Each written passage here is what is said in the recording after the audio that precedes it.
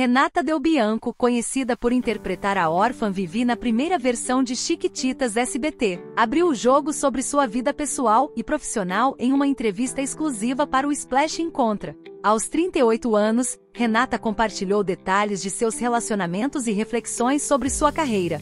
Renata não esconde seu histórico de relacionamentos com figuras conhecidas como Danilo Gentili, Angélica Morango, Júnior Lima, Amon Lima e Paulo Negro. Tem os anônimos que a gente não fala nomes, né? Mas já me relacionei com algumas pessoas, digamos que gosto de degustar. O beijo da Angélica é bom, e tenho um apreço maior pelo Amon porque a gente namorou. Ele é uma pessoa incrível, bacana, divertido e bem desenvolto nas questões, comentou Renata. Atualmente Renata produz conteúdos sensuais para a plataforma Close Fans, comparando seu trabalho ao que era feito nas capas de revistas como Sexy Playboy. As pessoas confundem muito que produtora de conteúdo é uma pessoa vulgarizada, uma pessoa que trabalha com corpo que trabalha com sexo. São duas vertentes que as pessoas ainda não conseguiram assimilar. Faço conteúdo sensual que na nossa época popularmente era conhecido como capas de revistas, explicou. Renata enfatizou a qualidade dos ensaios fotográficos, dizendo que os ensaios eram lindíssimos, produzidos por fotógrafos talentosíssimos e com uma equipe gigantesca por trás.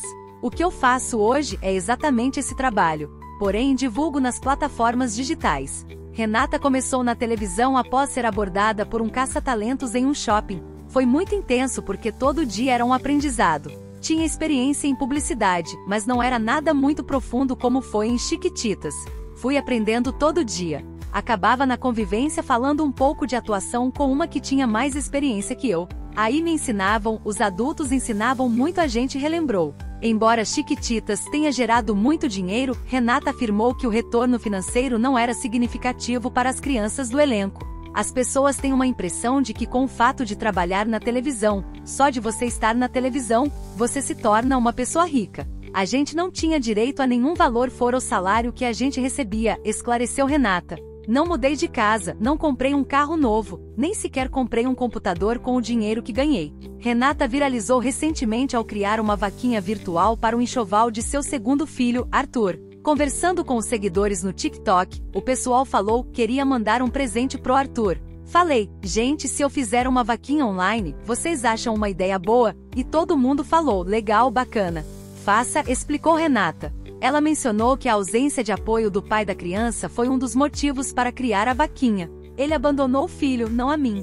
A atriz também compartilhou as dificuldades que enfrentou no relacionamento com o pai de seu filho. Ele queria me mudar muito, Queria que eu parasse de trabalhar com meus conteúdos, queria que eu me mudasse para casa dele, queria que eu vendesse meu carro e falei, querido, não é bem assim o caminho. Quero somar e não quero diminuir nada. Ponto. Renata decidiu terminar o relacionamento quando ele sugeriu que ela interrompesse a gravidez. Já que a gente fez, a gente honra. Ele não teve maturidade, não teve discernimento de agir como um homem deveria agir. Ele me bloqueou por quatro meses e está na justiça.